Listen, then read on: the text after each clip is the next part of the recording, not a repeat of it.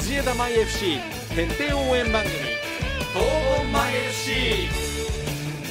G スカイ FM 島田お聞きの皆様こんばんは。11月23日水曜日。時刻は19時30分。藤枝舞 FC の徹底応援番組東本舞 FC のお時間がやってまいりました。皆様のお相手は DJ 拓郎でございますそして本日も私をサポートしてくださるのはといつもならここで藤枝舞 FC 広報の伊藤さんをご紹介しているところなんですが本日は広報伊藤さんがちょっとお仕事がお忙しくてですね、まあ、今この時期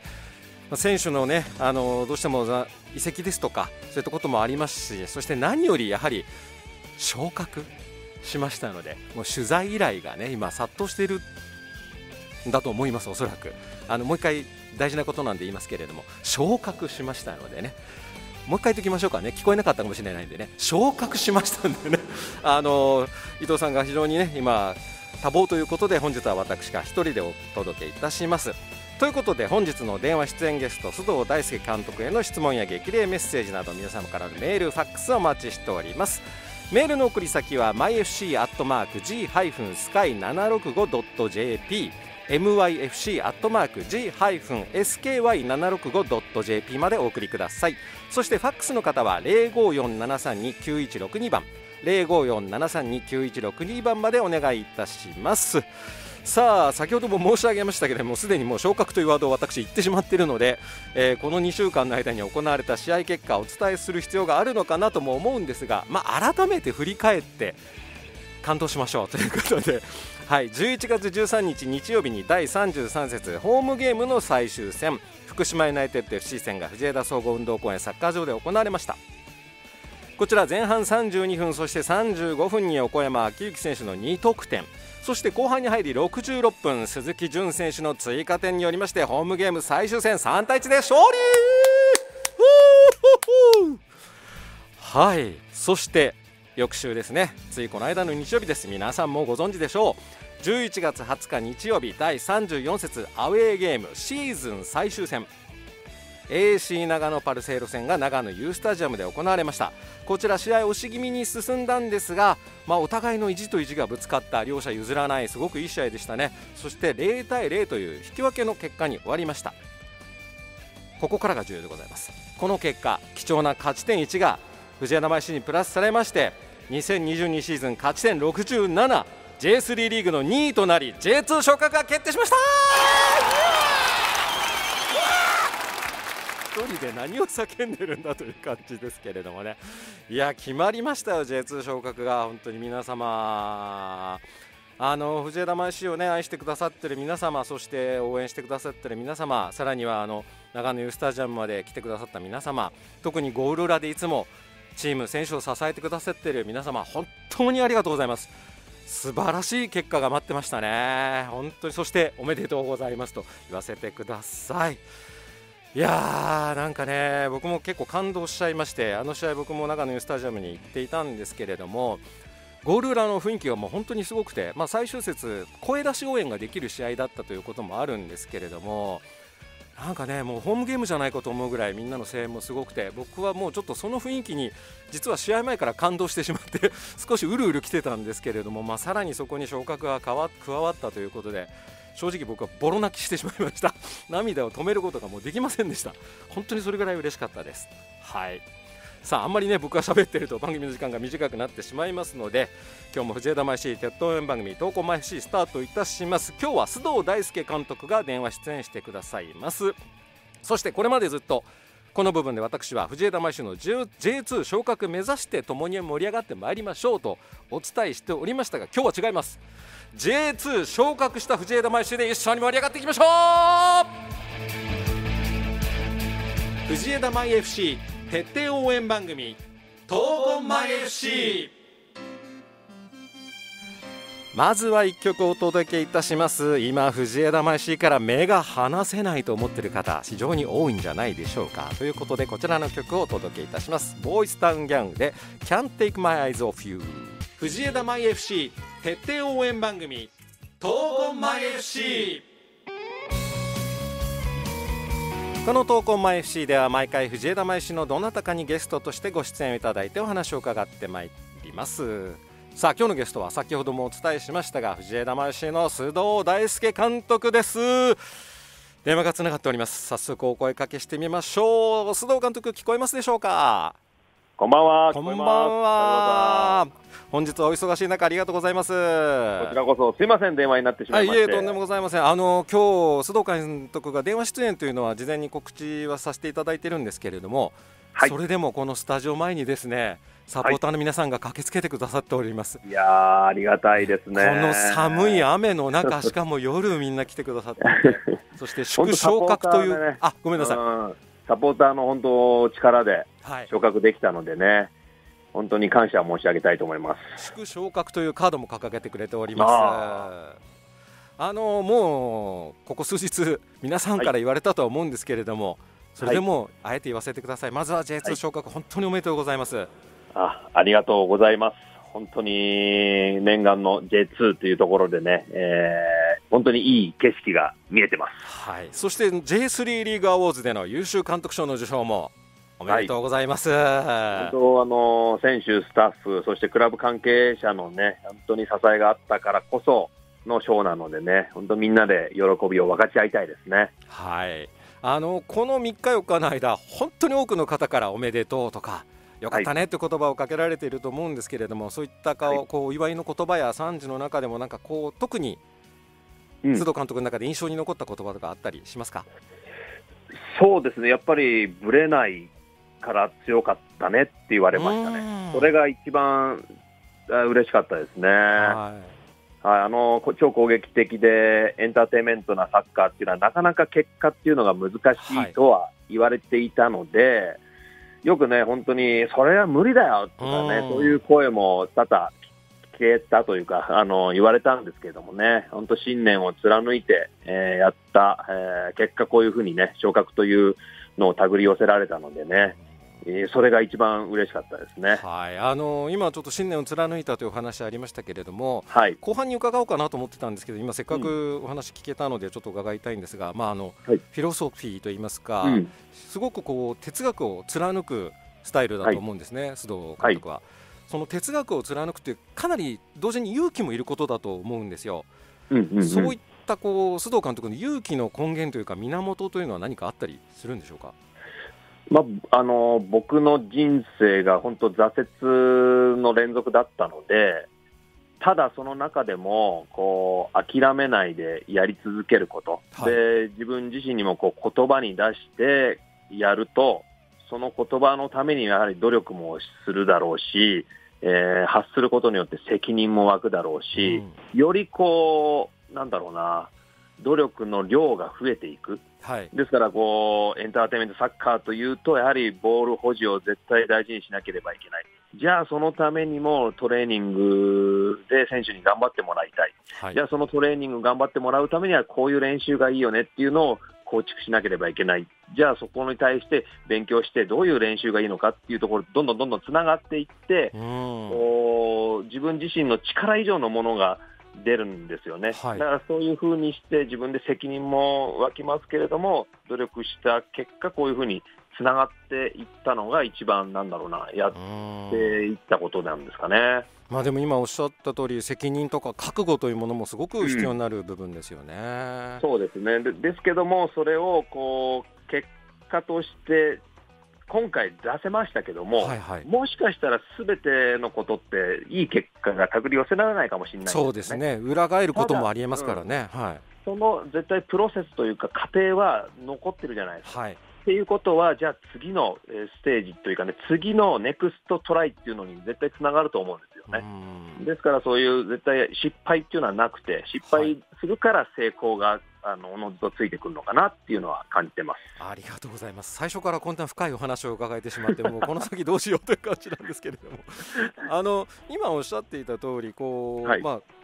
監督の中でのこう哲学をこう選手に強く意識づけをされてきたと思うんですけれども、実際にこう選手の考え方であったりとか、行動とかっていうのに変化が見えてきたなと感じた時期っていうのはあったりされますでしょうか？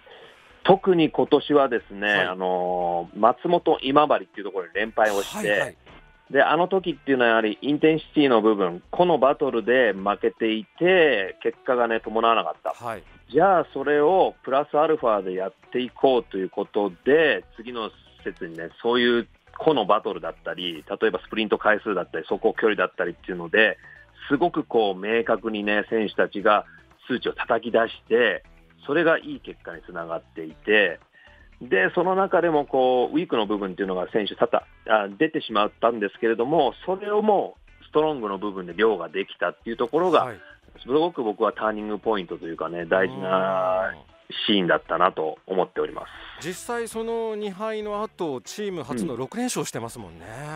そうなんですよね、はい。だただその前までも内容は良かったんですけども、そのほんのちょっとしたところでのあの、まあ、怪我ね、勝負のあやになっていたのかな、ええでもそこすら、その隙すら与えなくなって、ようやくこう、ね、勝ちが転がり込んできたのかなと思いますね。なるほど。ありがとうございますあの今日メッセージも実はものすごくいっぱいもらっておりまして、えーありがたいですね。はい、あのサポーターの方からいただいたメッセージの中で、はい。須藤監督が選ぶベストの試合はどの試合ですかというメッセージや、あと今シーズン思い出の試合はありますかという質問もあるんですけれどもそのあたりはいかがですか、やはりこの今伺った2試合の負けのところが印象深いって感じですかね？そうそこでこう上向きになれたということと、はい。あとやっぱり鹿児島戦の勝ち、ホームでの、はいはいはい。あそこは大きかったなっていうのは自分の中でもありますね。はいはいはい。確かにそうですね。しかも6連勝の最後の試合ですものね、そうなんですよ、はい。でもそこからが一番苦しかったのかなっていうのはあります。あの試合中止が2試合も続いてしまいましたしね何が一番きつかったっていうか、はい試合ができなかったこというのがね、一番辛かったですうね。んなんかせっかくのいい流れをなんか神様のいたずらで切られてしまったみたいなところがちょっとありましたものね。そうですね、そのシーズンの、あーその時っていうのがね、一番こう選手たちも苦しかったんじゃないでしょうかうね。んなるほどありがとうございます。あのまだ来季の話はまあちょっと後半に伺いたいと思うんで 少しあの、はい。プライベートについてもたまには伺いたいなと思っているんですけれども、はい、えー、と須藤監督は何かこう趣味とかあったりされるんですか、あと休日なんかはどんな風に過ごされているのかなというのをちょっと伺いたいんですけども。そうですね、今、趣味は、はい。えーまあ、家族とキャンプとか、ああはいはい。はい、最近ちょっと行けてないんですけども、えーすごく好きで、すごくあのグッズとかもめちゃくちゃ集めたり、あそうなんですね。はい。キャンプの時はあれですか？率先して料理を作られたりとかもされるんですか？あのですね、料理の部分においてはちょっとノーコメントとさせて、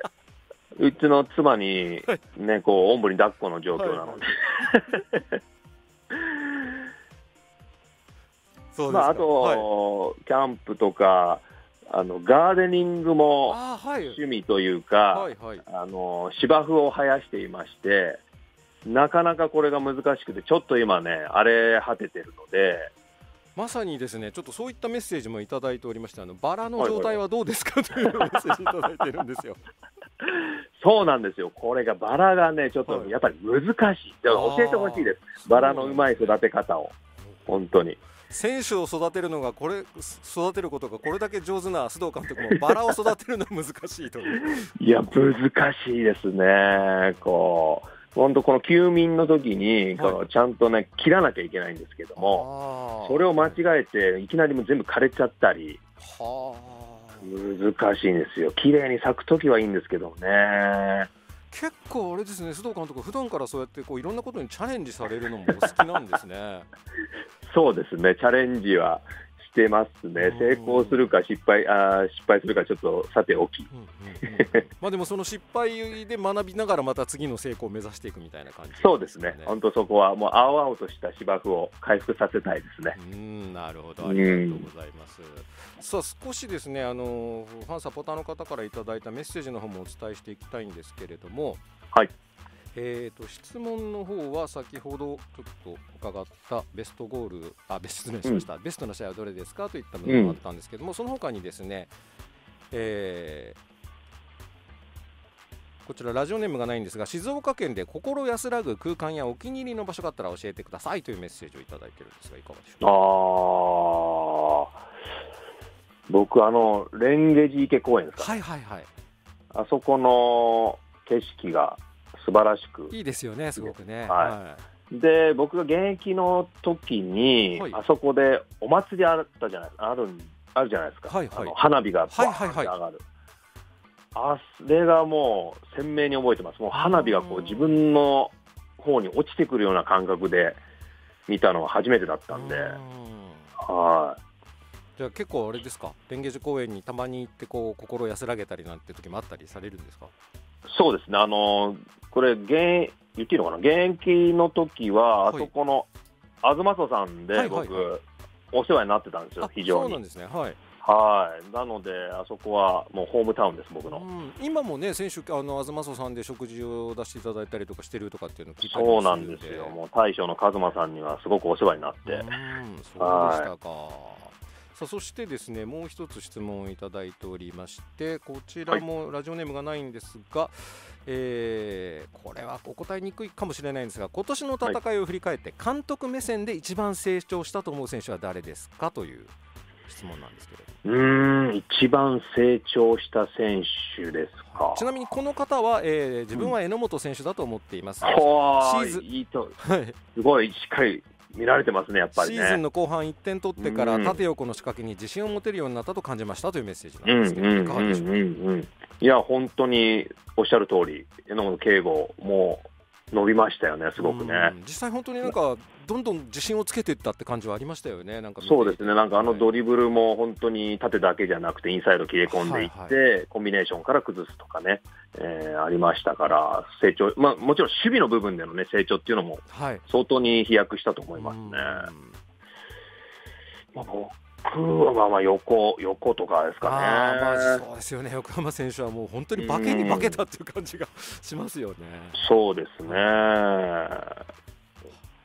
まあ、あと、アンカーに入ってきた川上翔平とかも、はい。こう自分のストロングの部分がこう出せてたなっていうのは感じましたね。うん。なるほどありがとうございます、はい、そしてですね、えー一つお願いが来ております。ラジオネーム、シャチミさんという方なんですが私は現在、栄養管理士の卵で2月に国家試験を受けます。残りはい。3ヶ月、ラストスパートをかけられるように大好きな須藤監督からの応援メッセージが欲しいですというお願いが来ておりますなるほど。はいシャチミさん3ヶ月。ですはい、シャチミさん、はい、残り3ヶ月シャチミさんに一声かけてあげてください。はい、シャチミさん、えー残り3ヶ月、大変かもしれないですけども、夢に向かって頑張ってください。応援してます。ありがとうございます。多分録音されていると思います その他にもですね、まあ、たくさんのメッセージ本当いただいておりまして紹介しきれないのがちょっと心苦しい感じではあるんですが、はい、はい、少しここであの来季のことについても伺いたいんですけれども、はい。あのまあ、来季どうしてもこうメンバーは多少変わる部分もあると思うんですけれども、んあの技術的な面というよりはスピリットの部分でどんな選手と共にこう戦いたいと考えられているのかなというのを教えていただけますか？うんうんうん。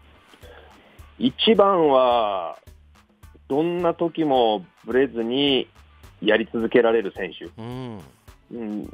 例えば、いい時っていうのは、どんな選手でもいいんですけども、はいはい長いシーズン、絶対にこう浮き沈みがあるんですよね。その沈んだ時に何ができるかで、チームのためにもできることあるだろうし、自分がね、成長するチャンスだと思って、積極的に取り組むこともできるだろうし、そういう、なんていうんですかね、ハングリー精神を持った選手と一緒に戦っていきたいなっていうのは一番思います。うんありがとうございます。そしてあの来季 J2 での戦いに向けて今度はチームとしてこれからすごく重要視していくポイントっていうのも教えていただきたいんですけれど。まず、インテンシティの部分っていうのは違うかな、少しレベルが上がるのかなっていうのは見てても思います。ただ、我々そこで勝負しないっていうか、えー当たられないポジションを取り続けて、よりこう流動的に、えー空間を作って、そこを使って、ボールポゼッションをして、ゴール前に運んでいきたいなと。ですから、えー今シーズンもやっていたボール保持っていうところにもっともっとこだわりながら、相手に触らせないようなゴールっていうのをね、えー何度もやっていきたいなと思ってます。うんありがとうございます。あのこれ前回電話でご出演いただいた時にも須藤監督に伺ったかもしれないんですけれども、須藤監督って今のお話を伺ってても本当にこう言葉の選び方ですとか、あとすごくこう、的確にこう言葉をチョイスされてこうなんですかね人に刺さるというか。すごく分かりやすく喋ってくださるなっていう印象があるんですけれども何かこう、はいありがとうございます。いえいえはい。あの須藤さんの中でこうあのサッカーの指導という面ではなくて言葉の使い方とか、そういう部分でこう参考にされてるこう偉人ですとか尊敬されてる偉人なんていうのはい。らしたりするんでしょうかあのなんだろうなそん、そんなにこう誰々っていうのではないですけども、なんかこう気になった本とかは結構読むようにしてて、その中で本当いい言葉っていうのがあって、自分自身も本当勇気づけられてるし、はいはい。えーそういう言葉っていうのは、おそらく選手にも響くのかなと思ってうん、自分の中の引き出しにいろいろ貯めてます。おそらく今度須藤監督におすすめの本教えてくださいっていうのがいっぱい来そうな気がするんですけど、ああ、いいですね、そういう質問も。何かお好きな本とかあったりされますか？うーんもしくは作家さんですとか。なんだろうな、こう、今、最近は、こう、ま、マネジメントというか、そういう、例えば稲森さんの本とか、はいはいはい。えー今、最近読んだの、落合さんの本とか、はいあの野球の中日の監督の、はいはいはいはいはい。えーそういう人の本とか、あとは、なんだろうな、こ心という言葉が入った本とかは結構、見るようにしてますね。うん須藤監督のなんか熱がそういうところからもすごく伝わってきますね。そうですね、本とか、やっぱ映画とか、そういうものからこうインスパイアを受けて、それをこう自分なりにインプットしてアウトプットしていくっていう作業は結構いいのかなっていうのは自分の中にもありますねグ。レイテストショーマンもすごくお好きだっておっしゃってましたもんねそうですね、あれはもう本当にエンターテインメントじゃないですか。はいですから、なんかこう、藤枝のサッカーにも絶対合うなっていうのでね、昨シーズンの、あ今シーズンのテーマはもうグレイテストショーマンでしたね。はい、ありがとうございます。まだまだ伺いたいんですけども、だいぶお時間迫ってきてしまいましたので、この後あの須藤監督からのリクエスト曲をお届けさせていただくんですけれども、はい。牧原紀之さんのどんな時もリクエストいただきましたけども、こちらはどうし、どういったご理由でこれはですね、はい僕が